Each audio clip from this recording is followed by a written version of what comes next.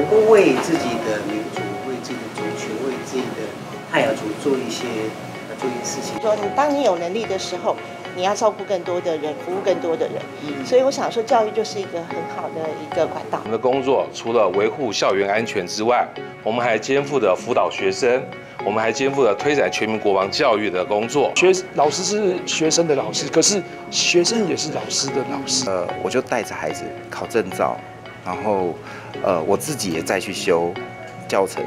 我们十五艘船要出去，你一定要去想办法帮助最后面最落后的船，我们一起去达成一个跨横横渡海洋的一个任务。不管是我明年二月一号退休，我还是会为特殊学校的孩子跟身障的孩子继续努力。对。